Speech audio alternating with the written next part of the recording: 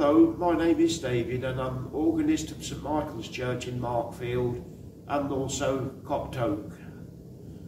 It's, it's glad to be asked to play for this service even though we're not all together here but anyway we can it's nice to to, to take to take part.